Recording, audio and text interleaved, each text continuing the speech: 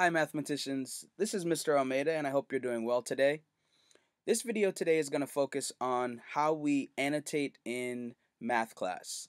So you get a lot of word problems in math and um, something you might not think about as being very important, but it actually is, is the ability to read very carefully and to understand what it is that's going on in the problem so that you can understand uh, what it is that uh, you need to know and what it is that you need to be able to do uh, within the context of the problem. So you're very familiar in your English classes, in your English language arts classes, um, with what we call close reading and using annotation strategies that way. Um, the same applies here in math class, uh, but we're going to apply the strategy in a way that makes sense for the task at hand, which is solving problems. Uh, but before we can solve problems, we have to understand what's going on very clearly. This is going to help us to be able to do that. So one of the things uh, that uh, you really have to keep in mind is that um, math class really is a reading class with some problem solving. Uh, so you really have to become a really great reader and uh, this is going to help you to be able to do that in understanding what you need to do. So the math annotation strategies uh, that are here are meant so that you can understand what's going on in the problem because often um, these important parts that I'm asking you to focus in on are really key information um, that you need to know in order to solve problems. So let's get into what are the actual things that we're looking for as we're reading. So the first thing is uh, we're looking for verbs. Verbs will be uh, very helpful in helping us to understand what is going on in the problem. Now, one thing I do want to caution you on is to not think about verbs as uh, key words um, that mean particular operations. So uh, when you hear more, it doesn't necessarily mean to add. Um, when you hear take away, it doesn't necessarily mean um, that subtraction is going to happen. So you really want to uh, understand what the verbs are, but at the same time not think that this verb means that I'm going to be doing something in particular. Alright, now that we know that, uh, when we read through a word problem or a context, we want to circle the verbs. So what we're going to do is every time that we see a verb, we're going to circle it. That's going to help us to understand that this is something that is uh, being done and uh, it'll help us in understanding how all of the actions in the problem are connected to each other. Alright, the next thing is um, you're going to draw arrows um, to your nouns from the verbs. So if I see that there is I'm uh, I'm walking three miles, then I'm going to be um, circling my verb and I'm going to draw an arrow to the nouns from my verbs. Okay, I'm going to draw an arrow uh, to the nouns from my verbs. And then I'm going to underline important information. So I'm going to always underline the important information. That may be nouns, that might be important words like increase or decrease, um, just words that are going to help me to understand what is actually happening uh, within the problem. And then one thing that is uh, not necessarily focused on, but is crucially important when you get to uh, word problems that involve many different tasks, many things that you're being asked to do, is to number your tasks. So, say for example, you're asked to find uh, the area of a triangle. Uh, that would be number one because that's the first thing you're being asked to do. Uh, and then if you had another task to do, then you'd label that number two. And these become very helpful in helping you to understand what it is that you need to uh, be able to do. And then uh, one thing that is not here that I'm going to write in right now is these are the annotation strategies. But in terms of my answering the, the actual tasks that I'm being asked to do, I'm always going to write my answers in answer statements.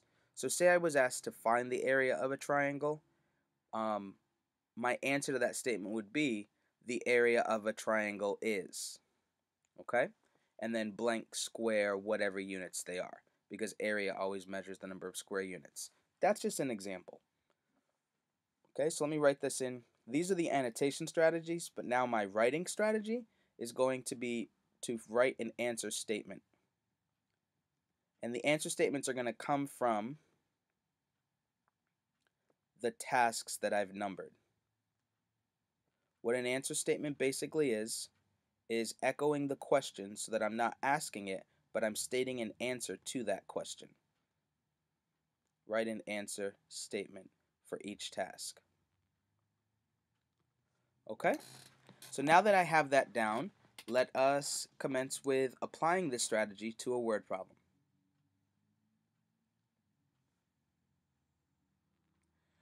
Alright, so there is a very uh, lengthy word problem here, but very typical of what you would see if you were asked to write an answer to uh, a constructed response question.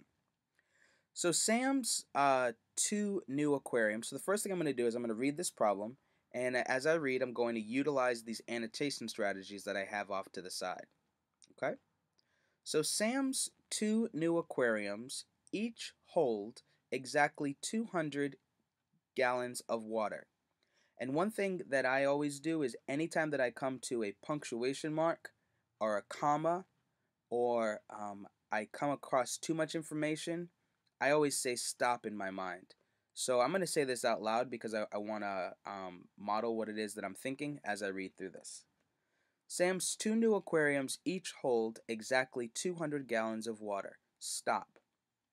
Alright, let me go through this and see if there's important information here. Okay, I see the word, I see the name Sam, so Sam is a person here. Let me scan the problem briefly to see if I see any other names here. Alright, there are no other names besides Sam, so that's not important information um, necessarily. But I know that he has two new aquariums, so that's important. Two new aquariums. And each of them hold exactly 200 gallons of water. Not about 200 gallons of water, exactly 200 gallons of water.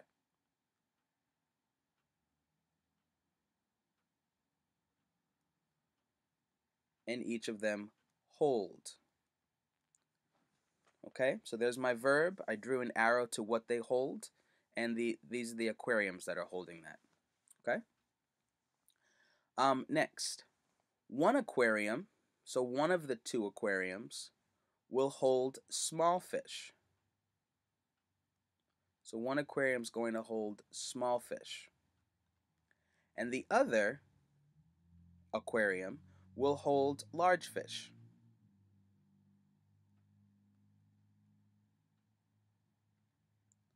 So I begin making sense of, of the information as, as I go through. Um, so I know I have two aquariums this aquarium right here, and this aquarium right here. Now, he needs to add, he needs new fish for his aquariums. Okay, so I know that each is going to hold 200 gallons of water, and one aquarium is going to hold small fish, and the other aquarium is going to hold large fish. Next, he will buy five small fish for every 10 gallons of water in the aquarium. So this is going to go with my small fish, remembering that every every aquarium is going to have 200 gallons of water. And then he will buy 8 large fish for every 40 gallons of water in the aquarium. Remembering also that this aquarium is going to have 200 gallons of water. Now that's all the information in the problem. Now I get to what my tasks are or my questions. So now I'm going to begin to number my tasks. Task 1. And I'm going to put a little line here to show um, a little check mark to show that when I finish that, I'm going to check it off. Because this becomes my way of checking myself to see if I've actually answered what the questions asked me. So once I've done that, then I check it off. So the first task is, what is the total number of fish Sam will have? The total number of fish Sam will have.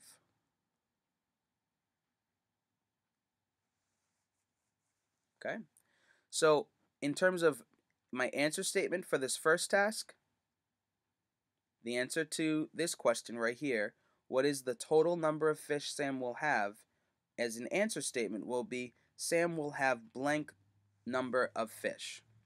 Or Sam will have a total number of blank fish. Sam will have a total of blank fish. This holds me accountable for um, going back to what it is I need to be finding. Okay, so that's the first task. The second part of this is what will the ratio, what will the ratio of Sam's small fish to large fish be? What will be the ratio of Sam's small fish to large fish? So the answer to that question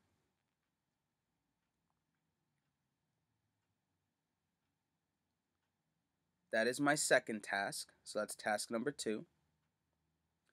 And let me do this just in a different color. Just so you can see that the task is different. You wouldn't necessarily need to do this.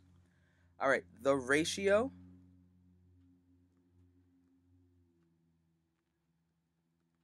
of Sam's small fish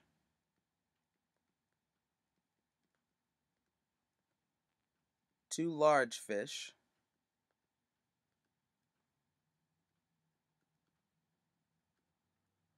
Um, whenever you're dealing with ratio, it really is the ratio of the number of Sam's small fish to the number of large fish.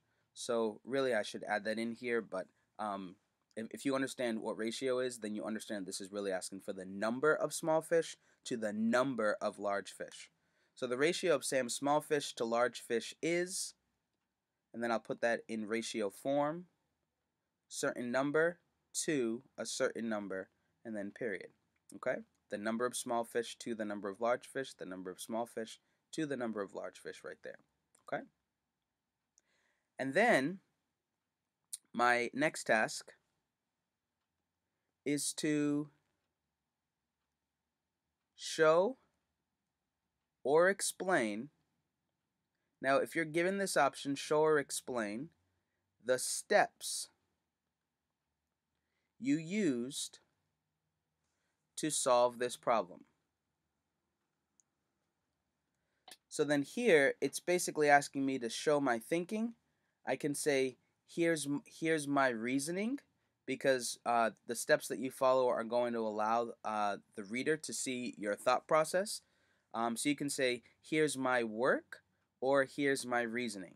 So I'll write that in here. Here's my reasoning. Or you can say, because the question uh, says steps, you can see here are my steps. It's your choice here. Here's my reasoning, colon, and then you just show your reasoning down here, or the steps that you follow. And then here, in this way, you have read the problem very carefully. You know that this problem is asking you to accomplish three different tasks. Using all of this information that you know here, you'll be able to solve the problem and know exactly what it is that you need to do for the three tasks. You know that you have to find the total number of fish. You know that you have to find the ratio of Sam's small fish to the number of Sam's large fish. And you know that you need to be able to show your, your steps or your reasoning or your work that got you to find these answers right here.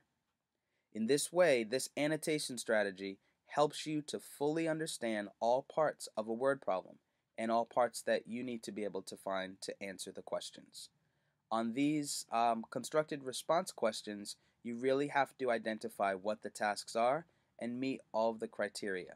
This allows you to find that you are doing everything that the problem is asking you to do and is a great way to hold yourself accountable um, when you're reading. I hope that you enjoyed this video and continue to think about problems very carefully. And remember that math is not just about computation, it really is about reading carefully, especially when we come to these contexts that require us to use mathematical thinking.